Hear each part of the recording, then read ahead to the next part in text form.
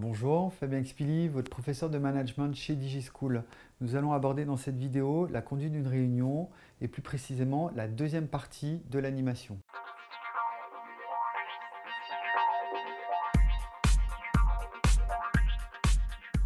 Donc nous avons pu voir sur d'autres vidéos que je vous conseille de visionner que la prise en charge des collaborateurs lors d'une réunion est importante au niveau de l'accueil, mais également au niveau de la préparation.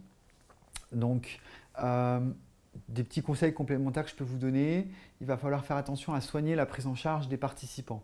Donc, c'est-à-dire les accueillir et favoriser un sentiment d'appartenance pour qu'ils aient envie de s'investir euh, au cours de cette réunion. Donc, dans la préparation de l'animation, on va faire attention à construire un scénario. On va faire attention aussi à bien préparer son contenu, bien se l'approprier pour savoir ce qu'on va dire, mais c'est aussi se préparer mentalement. Donc, c'est-à-dire visionner les différentes étapes, ce qui va se passer. Ça peut être aussi anticiper les éventuelles réactions des différents collaborateurs si vous les connaissez un petit peu. Et puis se préparer un petit peu au pire euh, pour toujours avoir une bonne surprise et être en situation plutôt de confiance euh, si la réunion se passe bien. Au niveau de la réunion, euh, pour son organisation, donc il va falloir diriger les échanges, hein, c'est-à-dire entre les différents participants, et faire respecter l'équilibre. C'est-à-dire que si jamais vous avez cinq ou six collaborateurs lors de cette réunion, vous allez à tour de rôle les interroger pour euh, les faire s'exprimer sur des sujets divers et variés.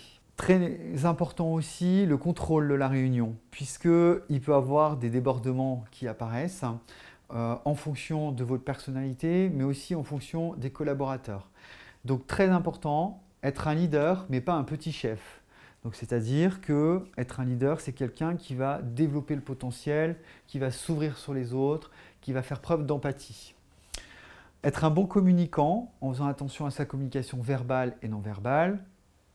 On soigne le langage et on soigne également le paraverbal avec sa gestuelle, sa posture, son apparence.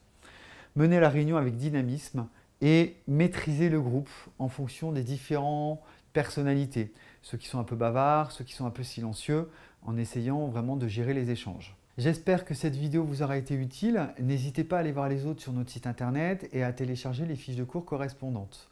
A bientôt chez DigiSchool.